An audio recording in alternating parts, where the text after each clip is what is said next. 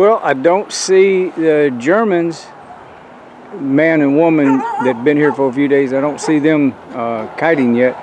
And then the guy that's from Atlanta, I don't see him. But today is Saturday, and it is the 9th, February the 9th. I'm, I'm looking at, at the ocean for signs, and um, so I'm going to do this video just for that purpose. I want I want you to look at the waves and the action, and you can see that uh, the difference between yesterday and today. There's not a lot of difference, but there is some difference. And that's what I want to try to get is good at reading the signs of the wind in the ocean. It's not easy, but if I if I monitor it and keep up with it, I think I can actually do it. The wind is swirling a little bit up here on this hill, so I'm hoping you can hear me. The dogs were not barking until I started talking, but they're getting more and more familiar with me.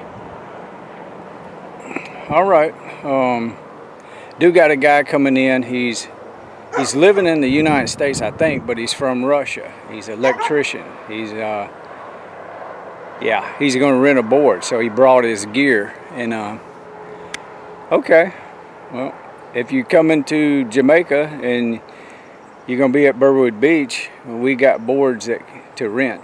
So it'd be he didn't book ahead, so he he just taking his chances, I guess, because yeah.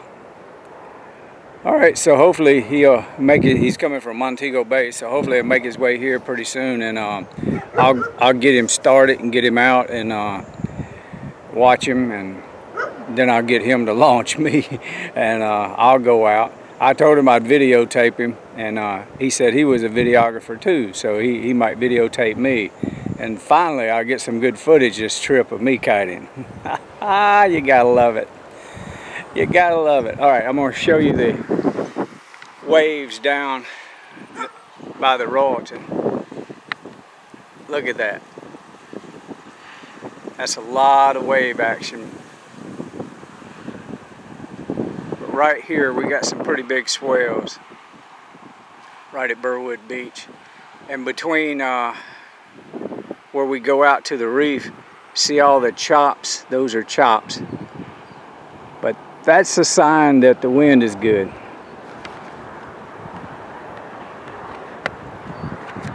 Alright, I'm going to end this video on this note. If you want a kiteboard with Buddy, you can do it. All you got to do is just contact us. Oh, I'm waking up all the damn dogs. Alright, I got to go.